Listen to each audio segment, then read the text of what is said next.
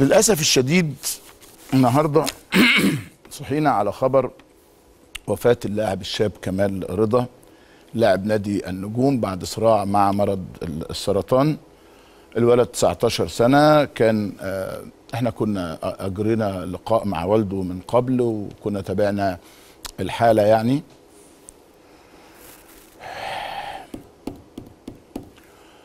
هو الح- الحقيقة ال- الكل تخلى عنه. معلش محدش يزعل مني يعني. وفي ناس أعلنت وإحنا متبرعين وإحنا هنعمل وأنا بتكلم على أشخاص يعني مش على مش على الوزارة مثلا يعني. دكتور أشرف صبحي راجل جميل يعني وإنسان وخير يعني. ووالده الحقيقة رجل عفيف النفس جدا جدا. وجاهد جدا مع ابنه لأنه ابنه ضناه يعني.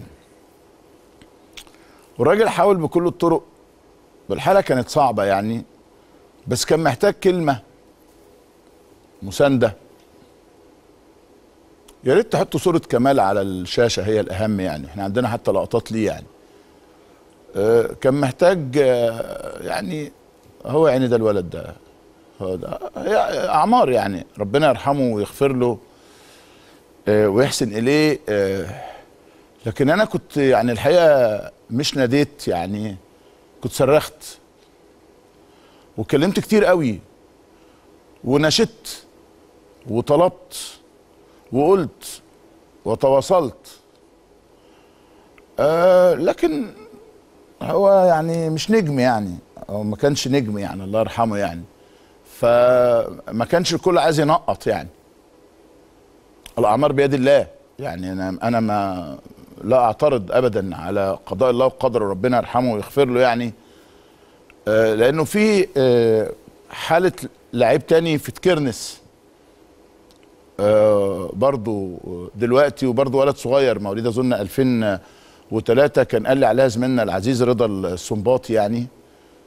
هنستنى برضو ولا لازم يكون الاسم ويكون النادي يكون ما هو برضه من الغلابة يعني.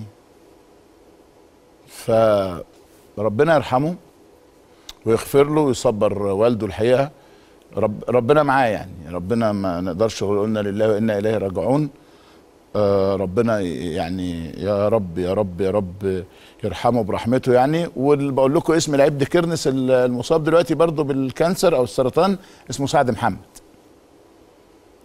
فيعني إيه آه إذا كانت الناس عايزة يعني. سعد محمد لعيب كرنس مواليد 2003 آه، لعيب صغير وعنده برضو نفس المرض. مش عايزين نلف اللفة بقى التانية ونعتمد على بعض الأشخاص ربنا يعني يكرمهم بعضا من الشخصيات. والناس اللي بتفضل تجعجع وتقول لك وأنا بشيل وأنا بعمل وبخلي ما عملوش حاجة خالص خالص يعني. كله تصريحاته بيخلي الناس تتعلق يعني تمسك بالأمل ده ويطلع في الآخر كله آه، للأسف يعني شو إعلامي لا أكثر ولا أقل. ربنا يرحمك يا كمال وربنا يصبر والده يعني إن شاء الله.